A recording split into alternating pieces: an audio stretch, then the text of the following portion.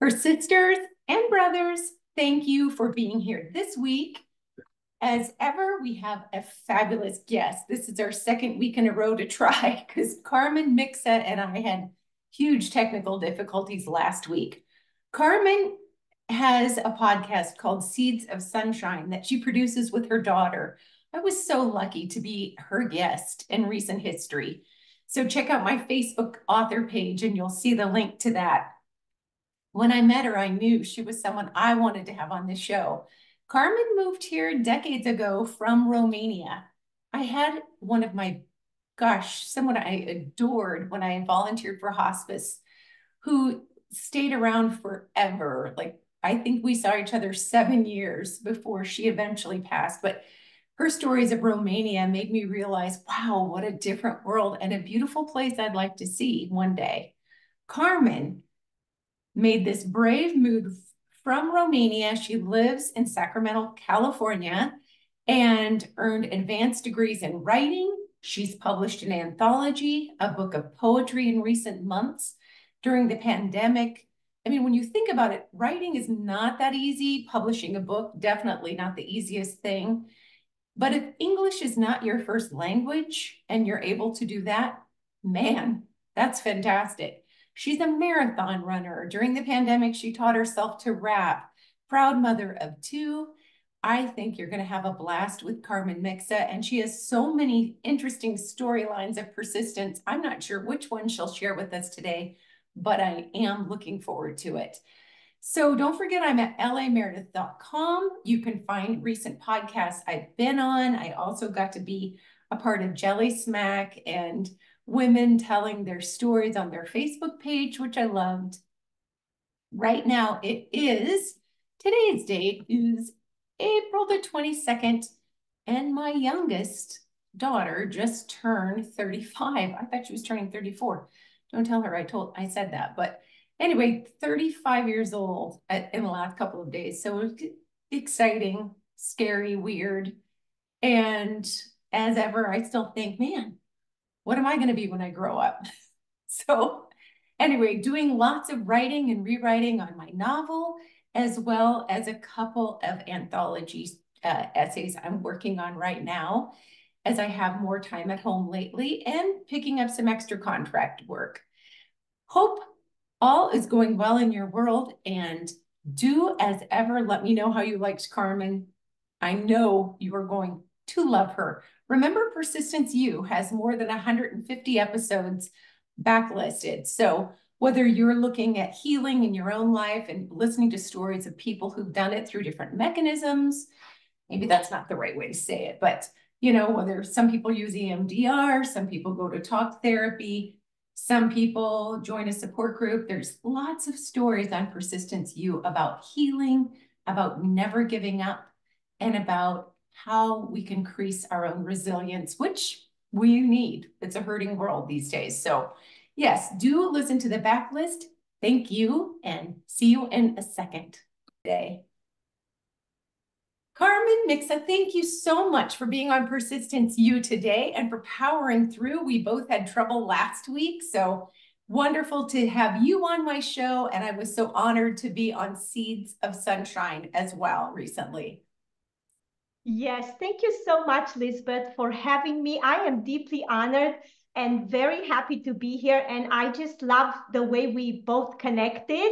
We felt those seeds of sunshine uh, between us. And thank you again for having me on your wonderful podcast.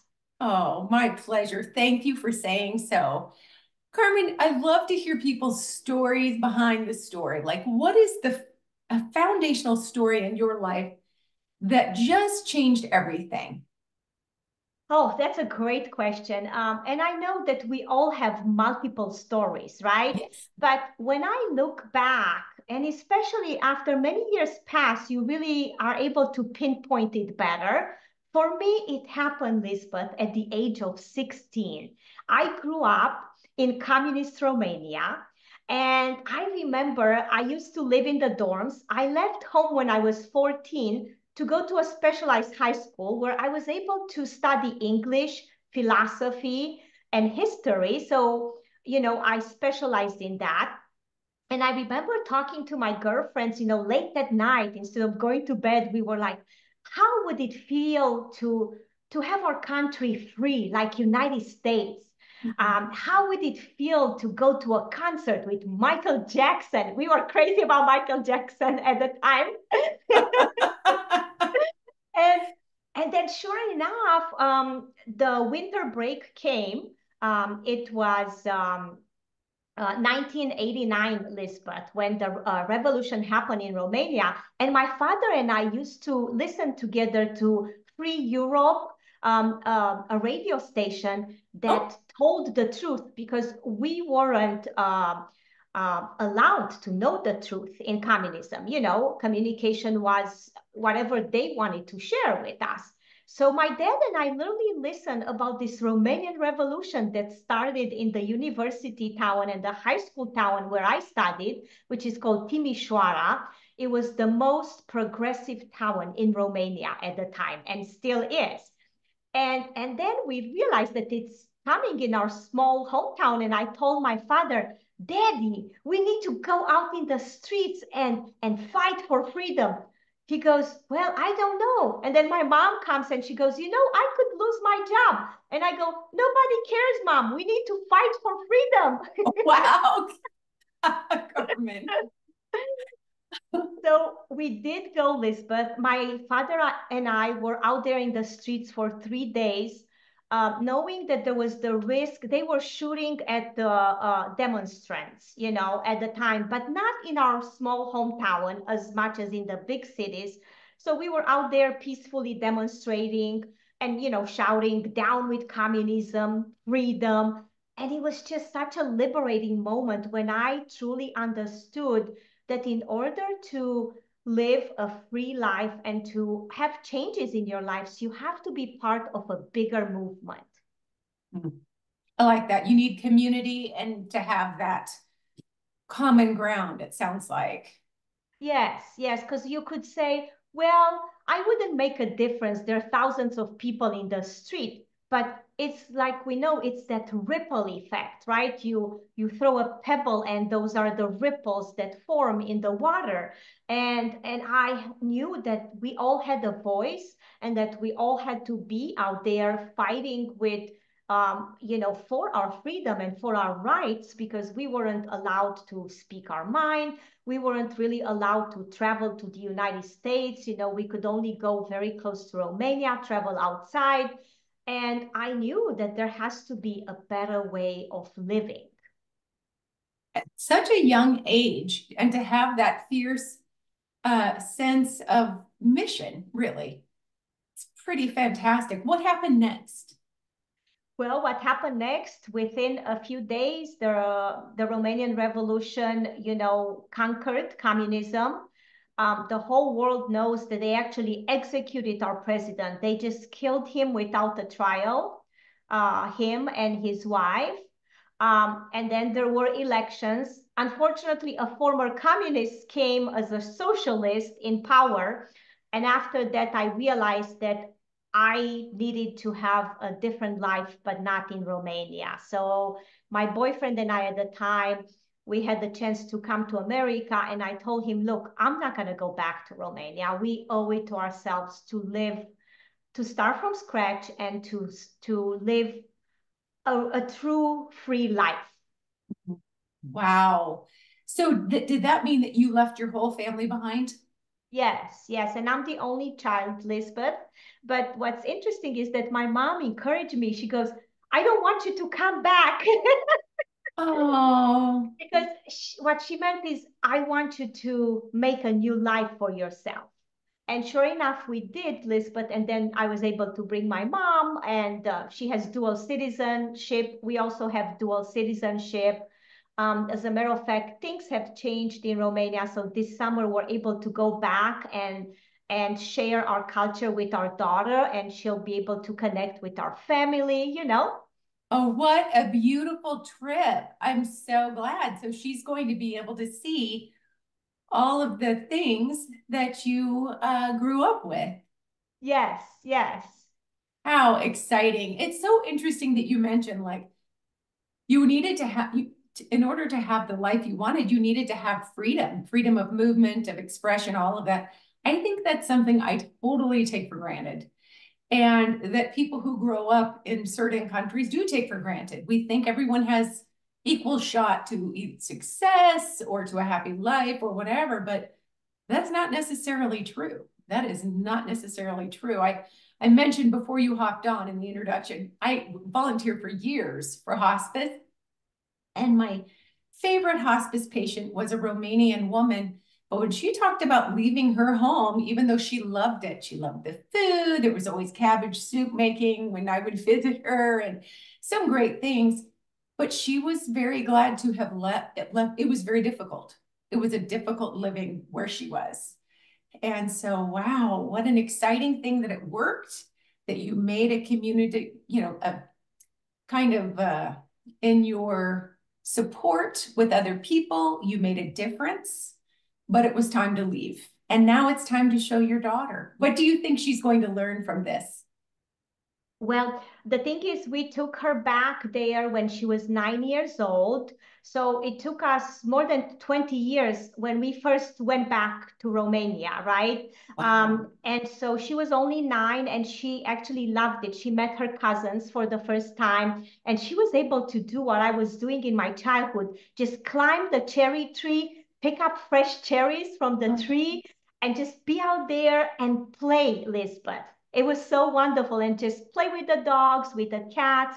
My um, relatives in the city that I was born, which is the northern part of Romania, they have this huge garden and it's full of fruit trees and vegetables and they have cats and dogs and you know you get to really play. You don't need your phone, you don't need anything, right? Right. So she experienced that when she was nine. So now she's going to experience it again at 17. That's going to be really exciting. Really exciting. And your child, your other child is going too, correct? So Alex, my son, went when he was 11. Okay. But this summer, he's not coming with us because he's working. He's at the oh. university and he wants to be serious this summer and just get more work experience because he wants to become a doctor. Um, and so that's why I went with him three weeks ago to Tokyo. We visited Japan together because I knew he couldn't come with us in the summer. Oh, that sounds like a wonderful consolation prize as far as I'm concerned. yes. and good for you for getting an extra trip out of it. That's excellent. Oh, that's really wonderful. Well, I mentioned before, so you've done a lot of things since you've been here. I mean, you talk about landing on your feet, but tell us a little bit about some of the work journey and choices you've made, and including some of your writing. Yes. Um, so basically, my passion has always been, you know, English literature, philosophy, writing. But what was funny when we came to America, I had to figure things out what I'm going to do, right? And we happened to buy our first home, and my husband said to me, Wow, did you see what that real estate agent uh, do? Pretty much nothing. I did all the work. and I go, Yes. He goes, do you think you might want to get into real estate because you're really good with people you're honest you're caring i'm like you know i'm i need to go back to school and i don't have anything against it i'll try it I don't know if I'm going to like it, but I'm happy to try it. And so I did. And the fact that it's such a dynamic field and career, which is why I named my company Dynamic Real Estate, um, it just really um, made me feel very fulfilled because I work with people from all walks of life, from all cultures, um, and we all with different needs. And um, it, I just got into it so well. And then I realized even after I went back to school to finish my education and get my master's degree in English, I didn't want to go back to teaching. I used to teach in Romania English. Um, and I said, I'm going to continue with my real estate, but I'm going to do writing on the side. And during the pandemic, you know, a lot of people complained that they felt uninspired or that it, it was difficult to do certain things. For me, it was the opposite. I was like, you know, I have all this time. I really need to finish the publication of my poetry book. I was working on Morsels of Love at the time. And then I kept writing and I kept joining Medium. And then I ended up writing essays together with authors from all over the world um, in different anthologies. And it is just so satisfying to kind of marry the business um, side of my career with the creative side, which is why I love to tell my clients if there is a way I can make this deal work for you in real estate, it's because of my creative side. I will find a creative way for us to put this together, you know? Right. I like that. Also, it keeps you probably really satisfied at work because you're not expecting every single need in your brain to be satisfied by that one job. You have that creative outlet, there's a place for it, and it you let, let it be prominent. It seems as though. And you know, my passion for writing and reading will always be there, you know, right. and so I want to um, continue nourish uh, that side of my soul which is why during the pandemic i also created a really fun um, book club. We are called the book savages. That sounds scary. I like it. scary. but what that book club is actually formed uh, 99% of us are runners. So okay. we're runners and big readers. Um, we love to discuss serious books of literature from authors from all over the world. Uh, and it's been so fulfilling because we still do it on Zoom. From time to time, we meet on, in person, but it's been just so wonderful to have this project where as busy as I am with my, my business, at least I know for sure that I'll read one or two books a month because one is the book club. So it makes me do it. Um, and and it's just so wonderful to keep that side of my soul um, alive and nourished. I think that's fantastic. It clearly makes you happy. You were telling me you even picked up on rap music, uh, you know, doing some of your own raps while the pandemic went forward. I, I, I don't think there are many people who could appreciate as much as you do what we can accomplish with freedom you know and i think that's so exciting that you take none of it for granted. What do you see in your future carmen? What what are you working on next? And and what do you want your daughter to know about if your life hadn't changed when you were 16 the life you would have been leading? Great questions uh, uh lizbeth. So you know, right now, this year, especially because we're traveling back to Romania, I'm very focused on finishing my memoir. So I'm writing a memoir about my life in Romania and also the 10 life lessons that I learned from my father, who was a watchmaker. And so the memoir will be the fact that I, I consider myself the daughter of time because my father was a watchmaker and he was so good, like um, with his time, he never was rushed. He was like, oh, I know exactly when we're going to get there. Why walk faster when I know I have enough time? and sometimes, because I was a kid, I was like, Daddy, we need to walk faster for me to get to my train. Because I was taking the train to go back to um, to my school. Um, and he's like, oh, we have plenty of time, Carmen. There is no need to rush, you know? So he would oh. walk slowly. And I was like, let's walk faster. the daughter of time. I love that. Yes. So this is my big project. Um, I really, I've been working on it for 20 years, Lizbeth, because this was part of my um, a thesis for my master's degree, but it took a completely different direction after I was actually interviewed on a podcast for, for our local television station, KCRA News. And when I talked to um, to the interviewer and we also became friends afterwards, I realized, wait a minute, I am the daughter of time. I, my memoir needs to go in a different direction and for me to share those happiness lessons that I actually learned during a more hostile environment or not mm-hmm. as nourishing, more stressful, but I learned so much. And so um, I I want to really finish my memoir this year, Lizbeth, especially after we do the trip to Romania. There's certain details that I want to go over, you know, mm-hmm That's exciting. And I feel like personally, a big trip, not any trip, but a big trip helps me, helps unlock creativity, probably jostles some things around in my brain and creates fear and anxiety, but also helps with writing. And I just can imagine, you know, it could start snapping together like Lincoln logs. And that's very exciting, Carmen. Yes, yes. And as far as our kids go, I always, you know, teach them. Um, one of my friends was so wonderful uh, last week when we were running. I said, look at this light coming through the tree. I sent her the picture and and and she goes, well, maybe it's you carrying your seeds of sunshine wherever you go. Oh, that's beautiful. I know. I even wrote a short form uh, about it and I quoted her and she she joked with me. She goes, "Give this woman a Pulitzer." oh, she's a very humble woman, isn't she? yes, she's a wonderful runner friend. We run together and oh. we talk about the books. She's in my book club as well. And and sometimes we we don't know that we all carry these seeds of sunshine with us. So I want to teach my kids that lesson and they see me how I act around other people. And my daughter, especially, she's uh, she's quite wonderful. She goes, "Mom, you're just so sweet, and all my friends love you."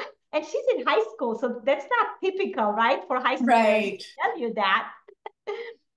I love that, Carmen. I hope you have the most fabulous trip with your daughter. I'll be looking forward to hearing about how your memoir shapes up and gets published. I feel like that's a reasonable amount of time to tell a story as big as yours. Two decades? Yes, in a book of poetry that might be long, but I feel like this memoir, it's worth waiting for. So I'm excited. Where can people learn more about you and how what you know how your work is shaping up whether it's real estate or writing or whatever. Yes. Thank you for asking that. So basically i um, i have two websites that they can go to. It's dynamicsacramentohomes.com and then my author website is carmenmicsabooks.com and obviously, like you, I do a podcast. They can look up Seeds of Sunshine, a mother daughter podcast, which I do with my Sophia. And um, they can obviously find me on social media. I'm pretty big on social media, and it's Carmen Seeds of Sunshine on Instagram. And then on Facebook, Carmen Micsa. And uh, I love to connect with people from all over the country and all over the world. And if they have a question about running, life, writing, I would love to answer it.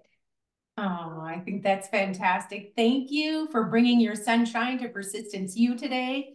And I have loved getting together with you now three times, I'm going to say. Yes. Uh, once for your podcast, twice for mine. So, what a privilege. And I just thank you so much for your time, Carmen. I thank you so much. And I wish you the very best and good luck with all your writing. Thank you so much. Bye.